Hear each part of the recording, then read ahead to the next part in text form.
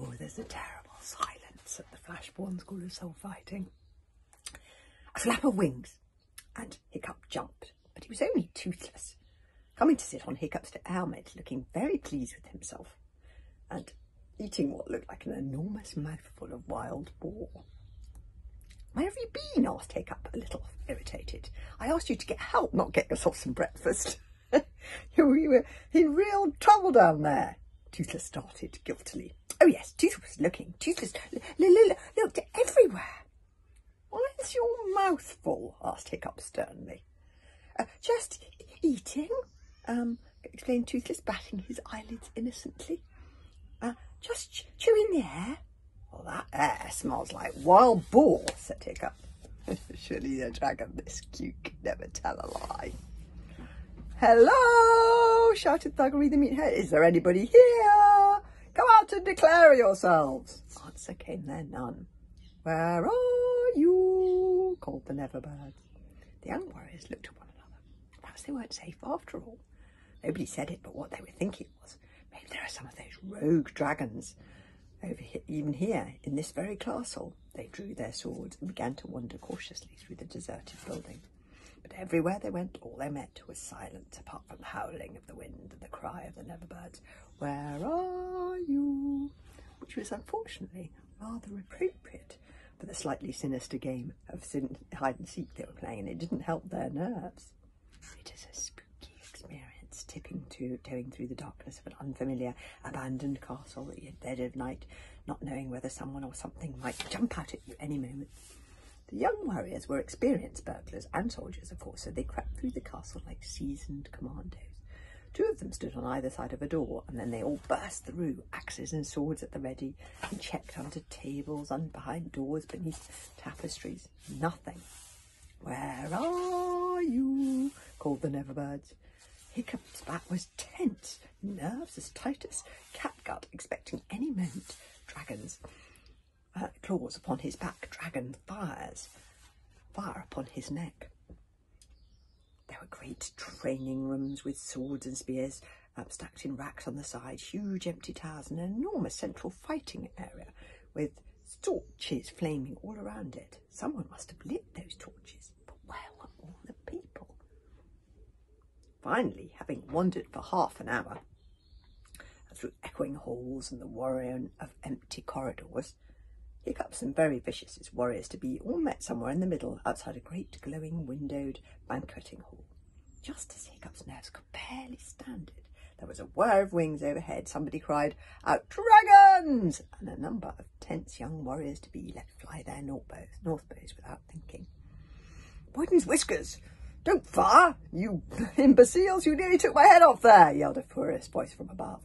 Oh, it was Stoick the Vast, thank goodness aboard his great dragon Bullheart. Open the castle doors!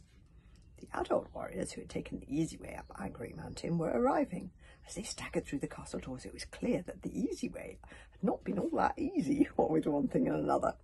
The adults had been attacked by rogue dragons too, scorched faces, Reigen dragons that limped with scarred wings and, and red-ripped ears, someone rather inexplicably carrying a blackened, burnt piece of mast, still with the, the ship's mast, still with the flag flying bravely from the end. On shell-shocked serious, this was the state in which the adult warriors arrived. The tired chieftains' expressions were unusually grim as they landed their riding dragons on the battle arena.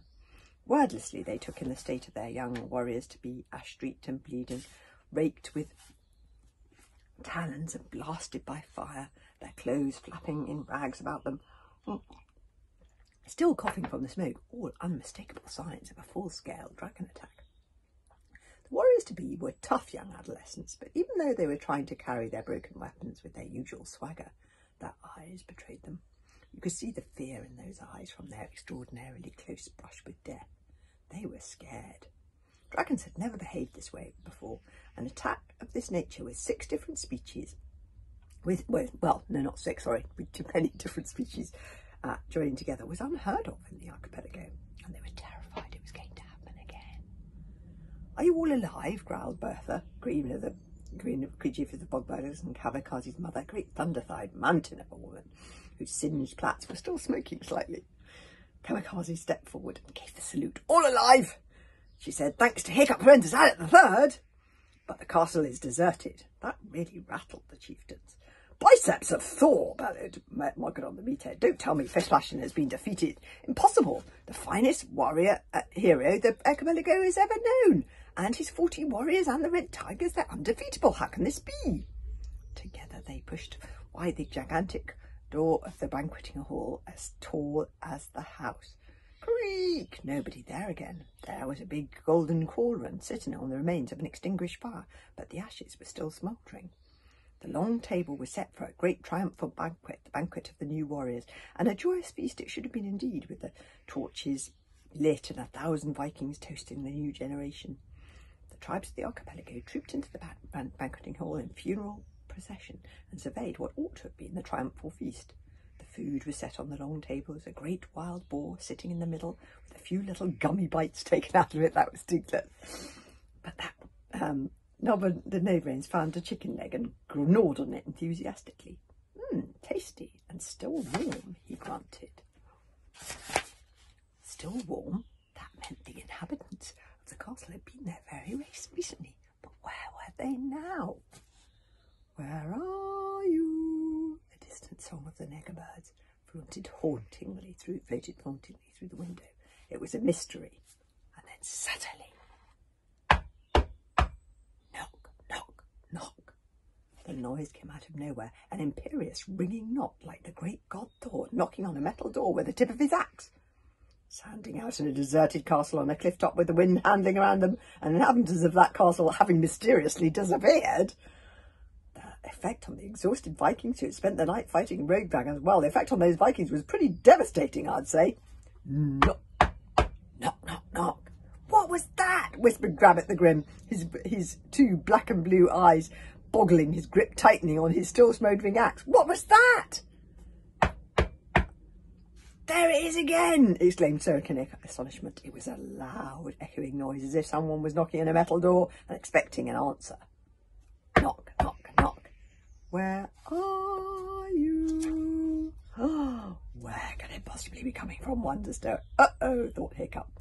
Maybe it's Fishlegs' knees knocking together. Maybe it's Fishlegs' knees knocking together. Suggested it's not that, but he said it with less than his usual swagger in his sneer, because there was something deeply unsettling and spooky about such a knocking in such a setting. Knock, knock, knock. Well, shiver my goggles and blister my bunions. It seems to be coming from the cauldron, exclaimed Stoick. Knock, knock. Was indeed coming from the big golden cauldron. Something or someone was inside that cauldron, and that something or someone was knocking on the inside with a clear, loud knock. Oh dear. Investigate the cauldron, no brains, ordered Stoick. Um, I've got a little cramp in my leg, actually, Chief, said Nobber. Old war injury. It comes on occasionally.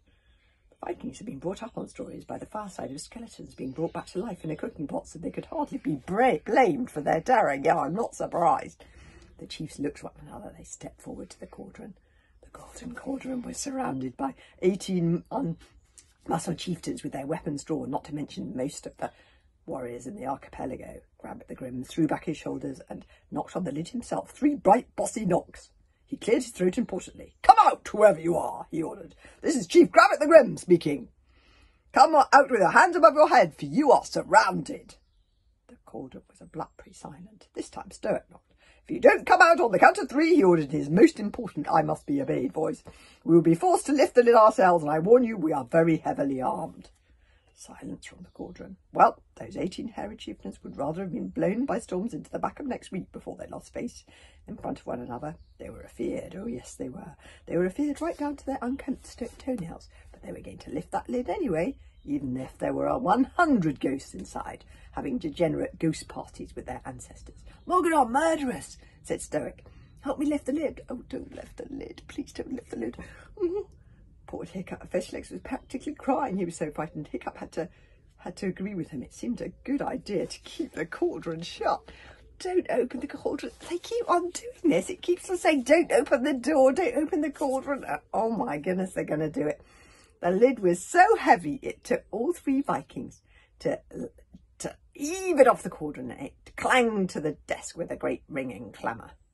To the deck, and the three Vikings bellowed as if they were one Viking, as something flew out of the chalk cauldron. A chicken! yelled Bergenham in relief. It's only a chicken. Only a chicken. Ha ha ha. Boomed the life Vikings, hugely embarrassed and relieved. Ha ha ha. When? Hang on a second. Fishlegs in alarm. There's something else in there. And there it was, clawing out of the cauldron and grasping hold of the rim from the inside with a ghastly, groping grasp. A human hand with fingertips tipped with iron. Ah! Chapter 5 is called Something Nasty in the Cauldron. Oh gosh, we'll have to have that tomorrow. See you then.